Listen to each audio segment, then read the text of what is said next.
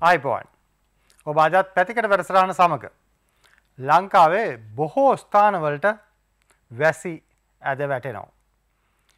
වැසි නිසාම නුවරලිය දිස්ත්‍රික්කේ පාසල් වහන්න තීරණය කල්ල තියෙනවා.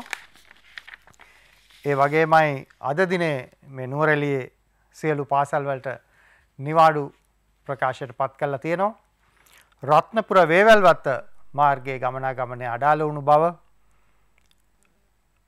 රත්නපුර නගරයත් පහත් බිම් ජලයෙන් යට වුණු බව වාර්තා වුණා වැස්ස අපේ ගොවිතැනට නම් හොඳ දෙයක්. පහුගේ කාලේ අභියෝගවලට මුහුණ දුන්නු ගොවි මහත්තුරුන්ට මේ වැස්සත් එක්ක ඉස්සරහ කන්නට හොඳ සූදානමක් ඇතිකර ගන්නට පුළුවන් වේවි. හැබැයි මේ වෙලාවේ මේ යලකන්නේ අග අස්වැන්නට මේක තර්ජනයක් වෙයිද. මේ කරුණු පිළිබඳව සාකච්ඡා කිරීම සඳහා අද අපි පැතිකට වැඩසටහනට ඉතාමත්ම ගෞරවයෙන් ආරාධනා කළා. පෙරදිනය විශ්වවිද්‍යාලයේ කෘෂිකර්ම පීඨයේ මහාචාර්ය බුද්ධි මාරම්භේ මහත්මයාට. සුබදසරක් මහාචාර්ය මාරමේ සුබදෑසනක් සුබදෑසන සියලු දෙනාටම. මහාචාර්ය මාරමේ ඔබ උදේ කීර වගේද පෙරදිනින් පිටත් වුණේ අද මේ පැතිකට්ට සහභාගී වෙන්න. අද නම් උදේ දෙකහමාට පාන්දර දෙකහමාට තමයි පිටත් වුණේ. එන ගමනේ කොහොමද වහිනවාද නුවර ඉඳලා එනකොට කොයි වගේ තත්ත්වේ? වැසි තත්ත්වය දැන් ඊයේ රායි නම් පටන් ගත්ත වැසි තත්ත්වයේ තිබ්බට මේ මොහොතේට මං එන ගමන තුල කඩින් කඩ වර්ෂාවක් තිබ්බට අශෝක විශාල වශයෙන් වර්ෂාපතනය පතිත වුණේ ඇත්තටම. බාධාවක් වුණේ නැහැ මෙතෙන්ට එන්න. හරි. දැන් අපි මේ ඉන්නේ යල කන්නේ අග අපිට මහකන්න ගොඩදාගන්න පුළුවන් වේද. බැරරුම් ප්‍රශ්නයක් අහන්න අසෝක පටන් ගැන්ම මහකන්නේ ගොඩදාන්න පුළුවන්ද කියලා අහනට වඩා මහකන්නේ ගොඩදාගත යුතුයි. කියන එක ඒ අභිලාශය ඇතුව ඒ පරමාර්ථය ඇතුව තමයි අපි ඉස්සරහට යා යුතු වන්නේ. දැන්ටම යන ගමන් මාර්ග දිහා බැලුවත් අපි මේ තියෙන අවදානම් තත්ත්වයෙන් ගොඩේම සඳහා මූලිකම කළ යුතු තියෙන්නේත් එයයි. පැහැදිලි. දැන් මහකන්නේ අපි වැඩි බලාපොරොත්තු තියෙන කන්නේ අපේ ගොවියා. රටක් හැටියටත් මේ වෙලාවේ අපි විශාල බලාපොරොත්තු තියලා තියෙන්නේ. මොකද වෙන කවරදාටත් වඩා අභියෝගයන් හමුවේ තමයි අපි වගාවේ යෙදමින් හිටියේ. මහ කන්නට අපිට කොයි වගේ තක්සේරුවක්ද දෙන්න පුළුවන්. මොකද පහුගිය අපි කන්න දෙකක් වගේ අමාරුවගේ කන්න දෙකක් මහාචරතුවන් ඕ කන්න දෙකක් ඇත්තරම පසුගිය මහකන්නේ ගත්තොත් එම දෙදස් විසිය එකේ සැප්තැම්බර් මාසය අගහිදම් පටන් අරගෙන අපි ආහාර බෝග ගත්තොත් අසුවක මේ වසරේ විශේෂම වී වගේ බෝගයක් ගත්තොත්තේ මේ වසරේ පෙබරවාරි මාර්තු කාලවලදී අස්වැන්න නෙලලා ඊට පස්සේ ගොවි ප්‍රජාව තමන්ට තියෙන සම්පත්යපය කරන යලකන්නට ගියා. ඒකතිත් අපිට දක්නට ලැබුණ ඇත්තරම අවාසනාවන්ත විදියට අවශ්‍ය කරන යෙදවුන් ටික ගොවි ජනතාව අතර පත්තු නෑ මිල කෙසේවත්. ඒක පැත්මත් තියෙන්ට පැනේ දෙ ගොවින්ට මිලිදී ගැනීමට හැකියාව කෙසේ වෙතත් අඩුගාන මිලිදී ගැනීමට අවශ්‍ය කරන ඒ යෙදුම් ටික තියෙන්න්නට ඕන. එවැනි අපස්ථා ගොඩම් මධ්‍යය තමයි මේ යලකන්නෙත් කරව කීදේ නිවැරදි අසෝක ඇත්තරම යලකන්නේ ප්‍රතිඵල ඒමට තිබුණත් අපි කන්න දෙහකින් බැට කාලා තියෙන්නේ. තුන්ගනි කන්නයකින් බැට කන්නනම් අපිට බැහැ කියටක්කත් අපි එක සාර්ථක කර ගැනීමට කළ යුතු සෑම දෙයක්ම විද්‍යාත්මක පදනමකින් යුතුව කළ යුතුමයි. වෙන කවරදාටත් වඩා සාකච්ඡාවට ලක්කුඩා කෘෂිකර්මාන්තයේ අවශ්‍ය දේ යෙදවුම් ලංකාවට පෝර කෘෂි රසායන ද්‍රව්‍ය වල්නාශක මේවා නැතිකම නිසා මතුවෙච්ච ප්‍රශ්න ගැන අපි වෙන කවරදාටත් වඩා පහුගේ අවුරුදු එක මාර වගේ ඇතුළේ නැවත නැවත සාකච්ඡා කළා. මචර මරම වැඩියෙන් මේ රසායනික පොහොර කෘෂි රසායන මේව නිසා වැඩියම අමාරු වැටුනේ මොන බෝගද. අසෝක ජූනිමාසි විසියට වෙන්දා අපේ ජනහා සංඛ්‍යාලය කළ දෙපාත්තුමින්තුව තියෙන් අපේ ස්තිරසාර දත්ත රජය වෙනින් ඉදිරිපත් කරන කට්ටියන ඔවුන්ගේ මාධ්‍ය නිවේදනයන් නිකුත් කර ඔවුන් පැහැදිලි කළ කිවදේ තමයි මේ වසරේ මුල් කාර්තුවේ අපේ සමස්ථාර්ථිකය රින එකයි දශම හයක වර්ධනයක් තිබ්බේ. අපි හොඳාකාරම දන්නවා මොකද සිද්ධ වෙන්නේ කියලා වඩාත් භයානක තත්ත්වය තමයි අශෝක මේ වසරේ මූල කාර්තුව ගිය වසරේ මුල් කාර්තුවට සාපේක්ෂව ජනවාරි සිට මාර්තු මාසයේ අවසාන වෙනකන් අපේ කෘෂිකර්මාන්තයේ වර්ධන වේගය ඍණ 6.8යි. මතක තියාගන්න ඕන දෙදස් විසි එකේ මුල්කාර්තය වර්ධනවේගේ ධන හයදශම හතරක් වෙලා තිබ්බ ආර්ථිකයක් කෘෂි ආර්ථිකයක් තමයි මේ රින හයදශම අටක වර්ධනවේගේකට පත්වෙන තත්ත්වයකට එහෙම තත්ත්වයක් අපි ඇති කරගෙන තියෙන. මං අපි කියලා කියන්න අසෝක මේක වැස්ස වලහක දෙයෝ කියලා අපි කියන්නේ වැස්සෙන් සිද්ධ වුණ අනන්‍යයන් තත්වයකින් සිද්ධ වුණන මම මෙහෙම කතාවක් කියන්න. මේක මිනිසා විසින්ම නිර්මාණය කරගත්තා වූ දෙයක් හින්ද වෙච්ච අවඩක් හින්දතයි මම මේ දේ කියන්න. ඒ වගේ මසුක ඔබ ප්‍රශ්න තව එක උත්තරයක් තියෙනවා. ජනහා සංඛ්‍යාලේඛන දෙපාර්තමේන්තුව ඉතා පැහැදිලිව කියලා තියෙනවා. විශේෂයෙන්ම වී වගාව ගත්තොත් එම ඔවුන් වගාවන් හැටියට ගත්තොත් එම වැඩියෙන්ම බලපෑමක් ඇති වෙලා තියෙන්නේ වී වගාවට කියන එක ඉතා පැහැදිලිව ඔවුන්ගේ වාර්තාවේ කියලා තියෙනවා. ඒකෙත් කියලා තියෙනවා පොහොර හිංගය තමයි මේකට වැඩිමනත් බලපාලා තියෙන කියලා. දැන් මේකට අමතරව එකැන වී වගාව වැඩිම බලපෑම ඊළඟට අපි ලයිස්තු කතකරොත් කොයි පැත්තර දෙයන්න ඇත්තරම අපි අමතක් කරන්න හොදන අසෝක වීවගාව අපේ ප්‍රධාන ආහාරභෝගය මං හැමදාමත් කියනවගේ අපේ සත්ව ආහාරභෝගයක් තියෙනවන. විශේෂයෙන්ම බඩේනකු අපි දන්නා සොය බොංචි වගේ දෙවලු අවශ්‍යනවද බඩේනු කියැන් අපේ රටේ හදාගන්න පුළුවන් දෙයක්. දෙදස් විශ්ව වසරෙත් අසෝක අපේ රටේ අවශ්‍යතාවේ සාමාන්‍යයෙන් මෙට්‍රිටොන් ලක්ෂ පහක් පමණ අවශ්‍යන කියලා ගණන් හදලා තියෙනකින් සියට අසු වටක පමණ ප්‍රමාණයක් අපිම නිපදවා ගත්තා. නමුත් ඒකෙත් ගිය මහකන්නේ අපේ විශේෂයෙන්ම බඩිරුවා කරන කන්නේ ගත්තොත් එහෙම අපේ ආස්වැන්න සියයට හැට පහිස්සට හැත්තෑව කතර ප්‍රමාණයකින් අඩුවන. මේක ඉතා ඉතා බරපතල කාරණයක් අද ඔබ දකින්න ඇති වෙළඳ පොලට ගියොත්තේ මාසෝක බිත්තරේක මිල කියද කියලා. ඒක අද හෙට අනිද්ද පැම් පැත් ගණන් යන විදියට කුකුල් මස්සල මිල කොහොමද කියලා ගත්තොත්තෙම ඒකෙන් හොඳටම හොඳාකාරම ඔප්පු වෙන දේ තමයි මේ සත්වාහාර භෝග සත්ව ආහාර සඳහා අවශ්‍ය වන අමුද්‍රව්‍ය. විශේෂයෙන්ම බඩිරුම් හිඟීම තුලින් අපේ කුකුල් කර්මාන්තර වෙලා තියෙන වින්හය. තව එක දෙයක් කියන්නේ අශෝක තේ වගාව. මං කියන්න අපි අපි ආහාරභෝග සත්වාහරභෝග විශේෂයෙන්ම අපනයන භෝගය අපිට විදේශ විනිමේ අත්‍යවශ්‍යම අවස්ථාවක් නෙමේක නේද. අපි බැලුවොත් එහෙම තියෙන සංඛ්‍යාලේඛන අනුව විශේෂයෙන්ම අපිත් ඒ අපනයනකරුවන්ගේ තියෙන සංඛ්‍යාලේඛන දත්තරම් බැලුවොත් එහෙම ජනවාරි සිට ජූනි මාසයේ කියන මුල් මාස 6 තුල අපේ තේ නිෂ්පාදනය අසෝක ගිය වසරේ ඒ මුල් භාගයට සාපේක්ෂව ගත්තොත් එහෙම කිලෝග්‍රෑම් මිලියන විසි අටකින් පමණ අඩු වෙලා තියෙනවා. මේ අපිට දරාගන්න බෑ අසුකම හැමදාම කිය අපේ තේ පල්ලෙහාට දාන්න ඕනේ. නිකන් හිතන්න අපි ඒක වික්කා කියලා ඩොලර් දෙකකට කිලෝවක්. ඩොලර් එච්චර පහක් දාන්න එපා ලංකාව. නමුත් ඔබට හිතාගන්න පුළුවන් මොනතරම් විදේශ විනිමයද අපි නැති කරගෙන තියෙන්නේ. මේ තත්ත්වය එක්ක අපි සැලකිල්ලට ගන්න ඕන තව දෙයක් තියෙනවානේ. දැන් ලංකාවේ තෙල් පෝලින් තිබුණ පහුගිය කාලේ ඩීසල් පෝලින් දවස් ගණන් යන පෝලිං හැටියට ගොඩ ඇගිල තිබුණා පෙට්‍රල් පෝලිනුත් තිබුණා හොඳ අස්වන්නක් එකතු කරගන්න පොලව සකස් කරගන්න මේ හැම එකටම අපේ ගොවියට ඉන්දන ඕන. තැන් මේ ප්‍රශ්නය මේ කිව්වාර් කෝඩ් එකෙන් විසඳෙයිද මේක බොහෝ දෙනාගේ අවධානයට යොමුවෙන ප්‍රශ්නයක්. මහචර මර්මය ඔබ මේ පිළිබඳව කැන්න මේ මේ ගොවීන් එක්ක මේක තියෙන විද්‍යාත්මක පසුබිම ඔවුන්ගේ තාක්ෂණික භාවිතය මේවා එකකට ගැටගැහිලා තියෙන දේවල්. තැන් අපි මේ වෙන කවර දාටත් වඩා වවාගත්ත දේ කපාගන්න බැරුව හිටියන්නේ.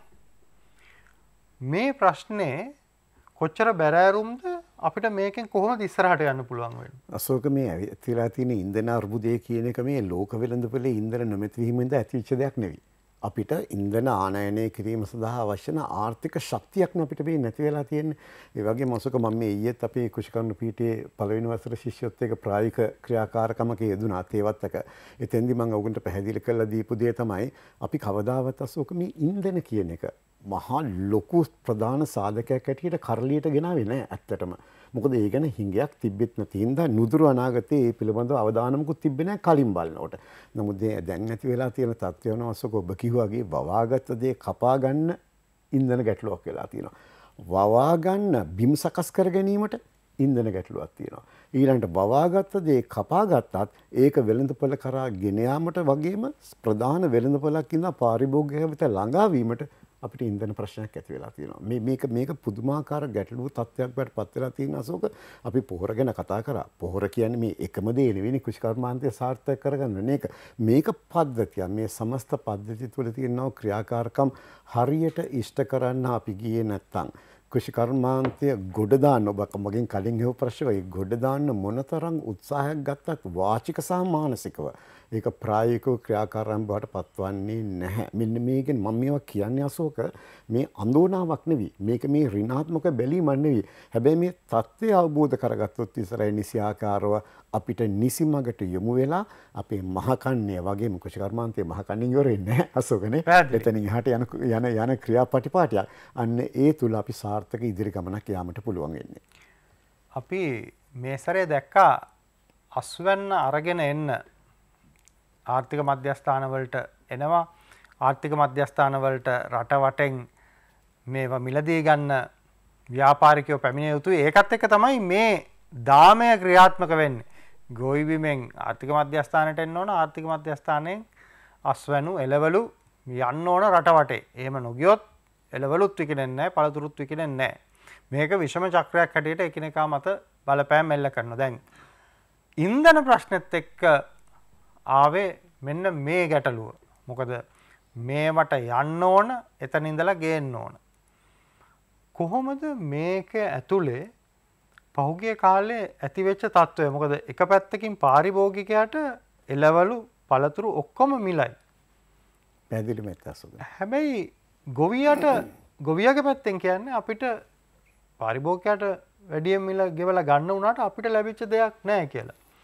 මේක අපි කොහොමද ටිකක් තුලනය කරගන්න මේක සංකීර්ණ තත්ත්වයක් අස ඔබ පැහැදිලිම කිලෝගේ මේක දාමයක් ඒ දාමයේ පුරුක් තියෙන ඒ පුරුක් හරියාකාරව සම්බන්ධ වෙලා කාර්යක්ෂම මේ කටයුත්ත කෙරෙන්නේ නැත්තං ගොවියට වගේම පාරිභෝගියටත් වෙන සතක් නෑයකින්. අපි දන්නවාසෝක මේ වියදෝම්වල තිබිච්ච ගැටලුව හින්දා අපේ නිෂ්පාදන පිරිවෑ කියන එක නිෂ්පාදනය සඳහයන වේදම වැඩි වෙලා තියෙන ගොයි මහත්මගේ පැත්තෙන් ගත්තොත් ගොයි ප්‍රජා පැත්තෙන් ගත්තොත්තේම.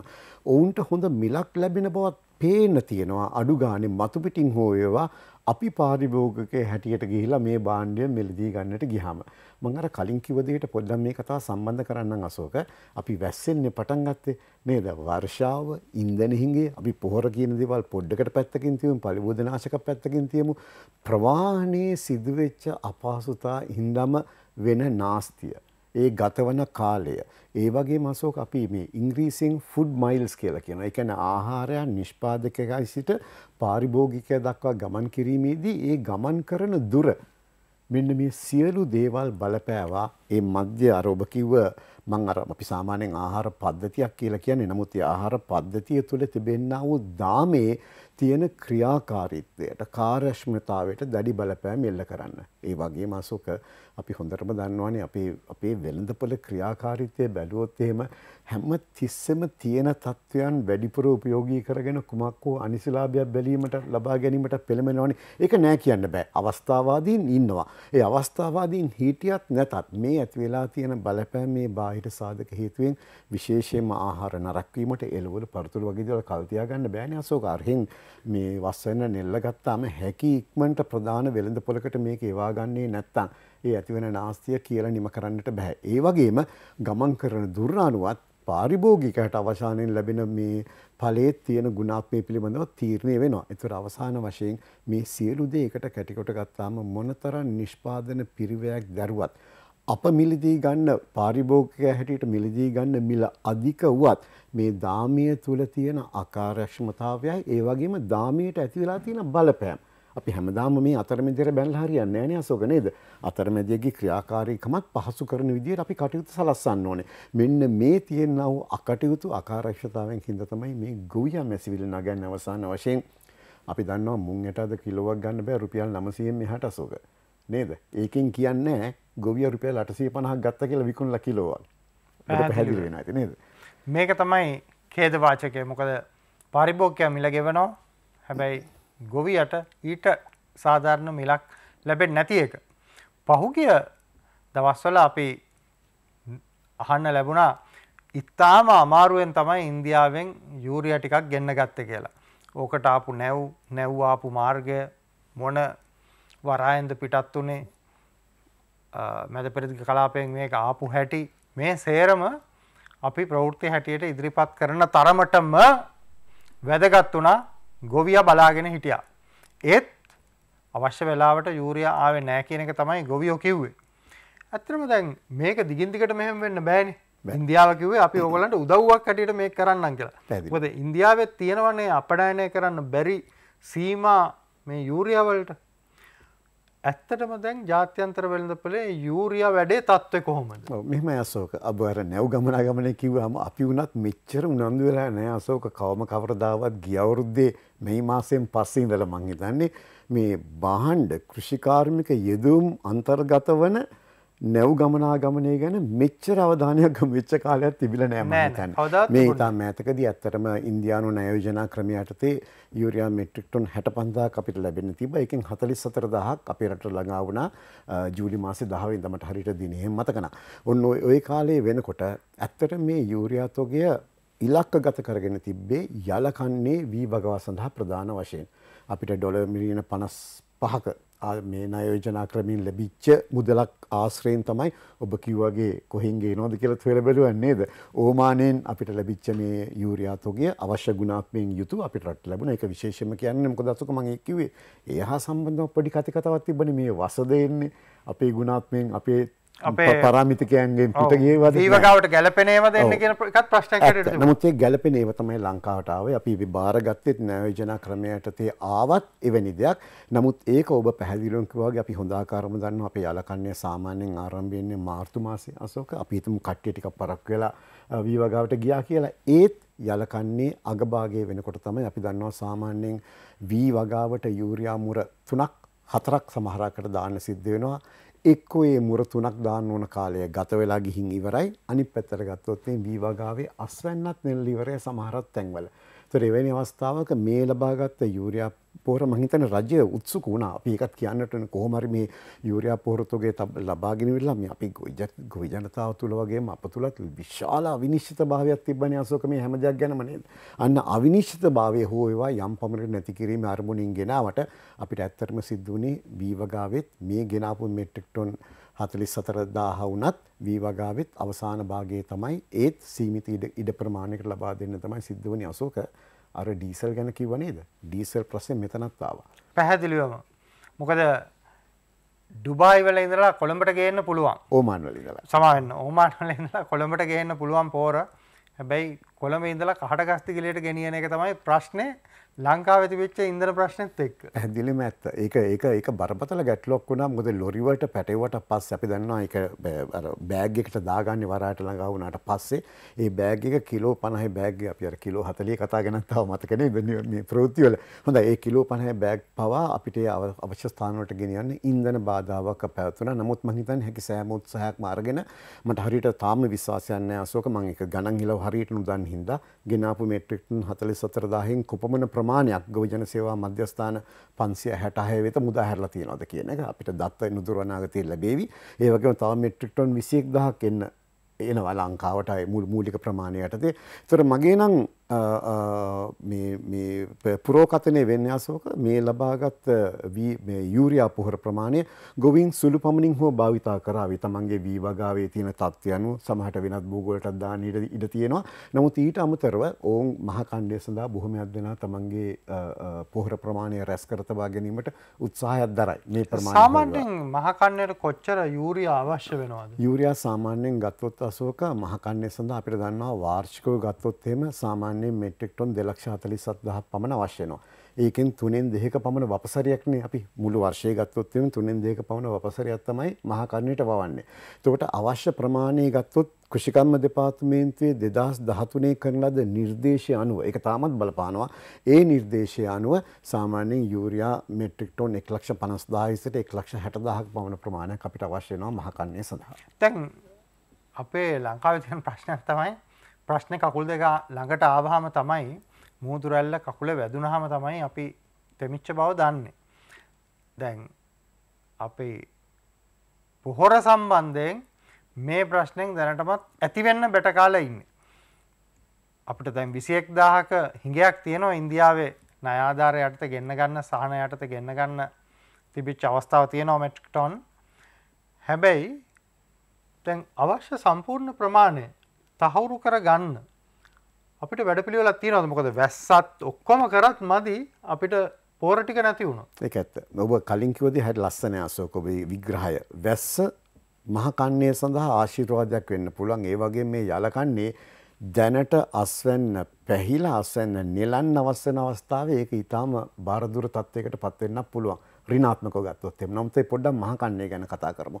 මම අර කියන්නේ මෙච්චර ප්‍රමාණයක් අපිට අවශ්‍යයි කියලා අපි හිතුව මේ ලංකාවට ගේන මෙට්‍රික් ටොන් 65000න් භාගයක් පමණක් තියාගන්නවා කියලා ගොවියෝ. මොකද අශෝක රජයෙන් තීරණයක් ගත්තා මේ ප්‍රමාණයෙන් මෙට්‍රික් ටොන් 15000ක පමණ ප්‍රමාණයක් තේ වගාව සඳහා යොමු කරන්න.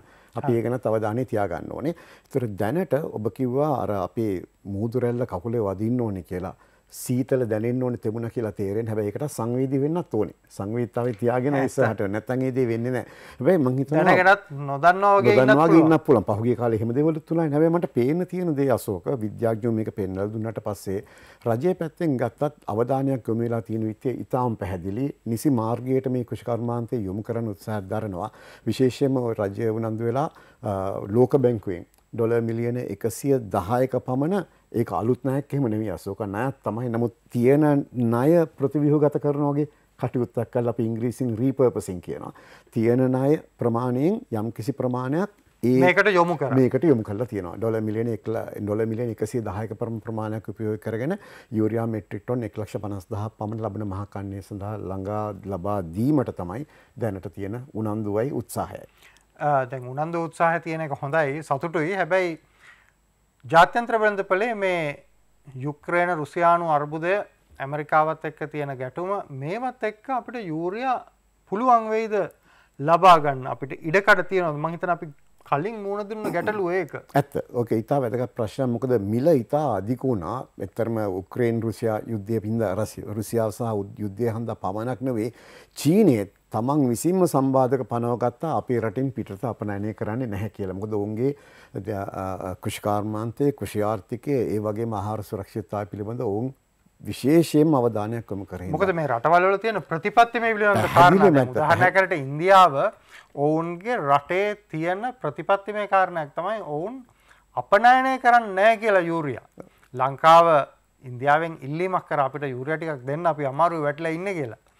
ඉන්දියාවත් ඇතරම උදව් කරන්න කැමැත්ත අභිලාශය තිබුණ. ඒත් කළන්ගේ ජාතික ප්‍රතිපත්ති අනුව ඉන්දියාවට බෑ වෙනත් රටකට යූරී අපඩායනය කරන්න. ඒ නිසා තමයි ඔවුන් අවශ්‍යතාවය තේරුම් අරගෙන ඔවුන් ඉල්ලීමක් කල්ල ඔවුන් ඕඩ එකක් දාලා තිබිච්ච තැනකින් අපිට කෙලින්ම ලබාගන්න පුළුවන් වෙන විදිහට වැඩ පිළිවෙලක් සකස් කර. මේක තරමක් සංකීර්ණයි. හැබැයි තේරුම් ගන්න ඕන වැදගත් කාරණය මේ රටවල් මහචරතුමා කිව්වාගේ චීනය අපි අඳුරගත්තා. ඉන්දියාව මේ රටවල් යූරිය අපනයනය සම්බන්ධයෙන් තියෙන ඉතාමත්ම දැඩි අනන්‍ය අනම්‍ය ප්‍රතිපත්ති. මොකද මේවා රට ගැන හිතලා ඒ රටවල් ගත්ත තීන්දු කාටවත් හදිස්සියට උදව්වට මේවා වෙනස් කරන්න ඒ රටවල් ඉඩ දෙන්න ඒක නිසා තමයි යුරිය වගේ දෙයක් ගැන අපි ඉතාමත්ම සැලකිලිමත් විය යුත්තේ අපේ කෘෂිකර්මාන්තයේ තිරසාරභාවය වෙනුවෙන්.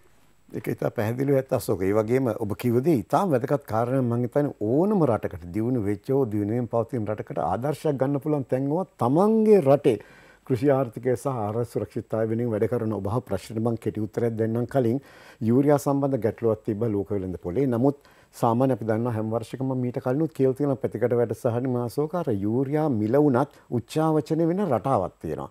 අපි දන්නවා සාමාන්‍යයෙන් නොවැම්බර් දෙසැම්බර් ජනවාරි කියන්නේ යූරියා මිල ඉහළ යන අවස්ථාව. කායි පෙබරවාරි මාසෙද පෙබරවාරි මාසෙ ඉඳලා යූරියා මිල පහළට යන්න පටන් ගන්නවා. ආයි මේ වසර මැද හරිය අගභාගය වෙනකොට ආයි මිල ඉහළ යන්න පටන් ගන්නවා. ඒ උච්චාවචන රටාව මෙවරක් තිබ්බ. හැබැයි අර ලෝකයේ පැවතින මේ අර්බුදකාරී තත්ත්වයේ හේතුවෙන් මිල වැඩිවීම ඉතා වැඩි. එතුට මිලහි වැඩිවීම ඉතා වැඩි නමුත් අසෝක මට මේක ඉක්මට කියලිවර කරන්න මේ පහුගේ ජූලි මාසය විසිවෙන්ද තමයි මන් දන්නා පරදි ඉන්දියාවට යූරයා ආනයනය කිරීම සඳහා අවශ්‍ය කරන්න ඒ ටෙන්ඩර් ක්‍රියාවලිය අවසන් වනේ. ඒකද අපිට ආරංචි විදියට යූරයා මෙට්‍රික් ටොන් එක සඳහා ලබාදීල තින අවම් මිල ඇමරිකාන් ඩොර් පන්සිය දාහතක් ඒක ඉතාම අඩු ප්‍රමාණයක්. ඒකැන් අපිට පේනවා යුරියම් මිලේ අඩුවීමක් ඇතිවගෙන පවතිනස්ද හැබැයි අසෝක අපිත් ඒ වගේ මිල ප්‍රාථනා කරන්න හොඳන හේතුව ඉන්දියාව කියන්නේ මහා පරිමාණයෙන් යූරයා ලෝකවෙල්ද පොලින් මිලදී ගන්න රටක්. අපි එහෙම එකන්න අපි ඉතාම සුළු ප්‍රමාණයත මෙට්‍රික් ටොන් එක් ලක්ෂ පනස්දාක් එක් ලක්ෂ හැටදහක් කියන්නේ ලෝක පෙළදේ නොගිනිය හැකි තරම් කුඩා ප්‍රමාණයක් ඒ වෙලදාම කරන කට්ටියට. එතට මිල පහලයාමත් දක්නට ලැබෙනවා සාමාන්‍ය තත්වයට වඩා. අපි බලාපොරොත්තු වෙමු මේ මිල එක්ක අපිට ලබන කන්නට මේ තත්ත්වය වෙනස් කල්ලා අපිට මේ ගැටලුව විසඳගන්නට අවස්ථාව ලැබේ කියන සුභවාදී ප්‍රාර්ථනය අපේ හැම දෙනා තුළම තියෙනවා. තැන් අපි සාකච්ඡා කරමෙන් හිටියනේ චීනෙන් හාල්ගෙන් තැන් කොච්චර ගෙනාවද මහචරතුමා. චීනෙන් ගේන්න බලාපොරොත්ත හල් ප්‍රමාණ අපිට ගේන්න බැරිවුණ අපි ඉල්ලවා. ඉල්ලීමක් කරට අපිට එක ලැබුණ අපි ගණන් හිලව් ගැන හිතන එකත් බොහොම කනගාටුවට කාරණය මොකද අපි සහල් ටොන් මිලියනයක් අපි ඉල්ලා සිටි අර රබ සහල් ගිවිසුමට වසර දශක ගන්නාව සම්පූර්ණයම නිමිත්තේ නමුත් ඒ කටයුත්ත කෙරුන්නේ අසෝක නමුත් මං එක දෙයක් කියන්න ඕන ඉතා පැහැදිලියම මේ තිබෙන්නා වූ අර්බුදයේ දිගපල්ල ගැඹුර විස්තර කර දීම රජය තේරුම් ගත්ත හින්දා හෝ වේවා අනිකුත් කාරණා හින්දා හෝ වේවා අපේ මේ රටේ මුල් මාස 6 තුල දැනට සහල් මෙට්‍රික්ටොන් ලක්ෂ හතරකට ආසන්න ප්‍රමාණයක් අපි ආනයනය කරලා තියෙනවා. අපේ රේගු දත්තදයා හොඳින් මැනවින් බලන්නකොට මේක ඉතා වැදගත් කාරණයක් වෙන අසෝක මෙන්න මේ හේතුවෙන්ද ම හැමදාම කියන ආහාර සුරක්ෂිතාවය කියන්නේ කෘෂිකර්මාන්තයෙන් විතර ළඟා කරන්න පුළුවන් දෙයක් නෙවී පුළුවන් සමහරත් තැන්වලදී නමුත් අපිට ආනයනය කිරීම තියනුත් ඒක සපයා ගන්නට පුළුවන්.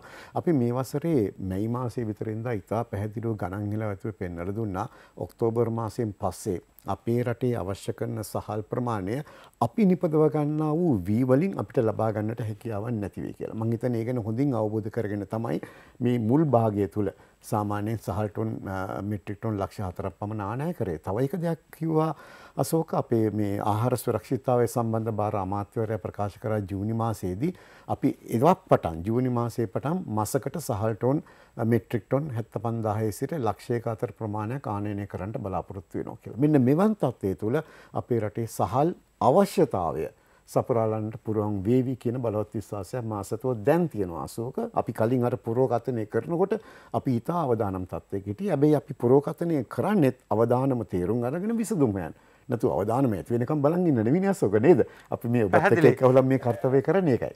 දැන් මේ අන්තිම ප්‍රශ්නේ. අපි මේසරේ කිව්වර් කෝඩ් වලින් යනවා පෙට්‍ර ගන්න මුළු රටේම. ත්‍රීවීල් දුවන අයියලා. මේ හැමෝම මේ කිව්වර් කෝඩ් එකෙන් පැහැදිලි වැඩපිළිවෙලක් ඇත ගිහිල්ලා තියෙනවා. දැන් මේක බිම ක්‍රියාත්මක වෙන බව අපිට දකින්න පහසුයි. මේ විදිහට කෘෂිකර්මාන්තයේ යෙදවුම් වල පෝර එහෙම නැත්නම් සහනාධාර අපිට යන්න බැරිවේද මහාචාර්යතුමනි. ඇත්තටම ඉතා වැදගත් කාරණයක්. අපේ දත්ත පද්ධතිය තුළ විශාල ගැටලුවක් තියෙනවා අශෝක. අපි අපි කියන්නේ මේ නෙලපු අස්සන්න වී වගාවේ අස්සන්න ගන්න උදාහරණයක් ඇරට ඒ අස්සන්න මාස දෙක තුනක් ගියාට පස්සේ කොහෙද තියෙන්නේ කියලා කියාගන්න අපිටම බෑ. මෙන්න මෙවන් තත්ත්වයක් තියෙන. මං හිතන්නේ මේ ගැන වැඩි අවධානයක්, දැඩි අවධානයක් යොමු කරගෙන අපි ඔක්කොම රජය කෘෂිකම දෙපාර්තමේන්තුව අමාත්‍යාංශය එක්ව ක්‍රියා කරන්න ඕනේ මේ දත්ත පද්ධතිය නිසියාකාරව සාදාගෙන ඉදිරියට යන්න. අපි දන්නවා මම දන්නවා අසෝක ගෝජන සංවර්ධන දෙපාර්තමේන්තුවෙන් ඉතා හොඳ දත්ත පද්ධතියක් හදලා තියෙනවා විශේෂයෙන්ම මේ සහනාධාර හැටියට මුදල් ගොවීන්ට ලබා දීමේදී එහා සම්බන්ධ දත්ත පද්ධතියක් ඉතා හොඳයි. ජෝ ගොවියා කියලා කියන්නේ ඒකට ඒ දත්ත පද්ධතියට මම හිතන්නේ අපේ ඉමි කියලා ආයතනයක් තියෙන්නේ අන්තර්ජාතික වශයෙන් නේද? අපේ ජල කළමනාකාර කටයුතු ගැන වැඩ කරන්නේ. ඒ ආයතනයේ උදව් අරගෙන තමයි ඒක කරලා කරලා තියෙන්නේ. මම දන්නවා ආසියානු සංවර්ධන බැංකුවත් ඒකට උදව් කරන ලෑස්ති වෙනවා මෙන්න මේ දත්ත පද්ධතිය යාවත් කාලීන කරගෙන එක තැනකට මේ දත්ත ගොනු කරගෙන ගියොත් එහෙම ඔය ඔබ කිව්වාගේ මේ QR කෝඩ් එක වැනි ක්‍රමවේදයන් තුලින් මේ යෙදුම් සපීමට ඉතා පාසුවෙන් අපිට පුළුවන්කම ලැබේවි. මෙතන අපි අපි ඒ පිළිබඳ බලාපොරොත්තු යන්න ඕන මොකද තාක්ෂණය අද අපිට මොබයිල් ෆෝන් එක තියෙනවා. මේකත් එක්ක අපිට යන්න පුළුවන්. හැමතැනම මේ පහසුකම් තියෙනවා. මේවයින් වැඩ ගන්න ඕන බය වෙලා ඉඳලා බෑ මේක කරන්න බෑ කියලා. මහාචාර්යතුමනි බෙහෙවින්ම ස්තුතියි අද පැතිකඩ සංවාදයට එක් වුණාට. බොහොමත්ම ස්තුතියි අශෝක. Thank you.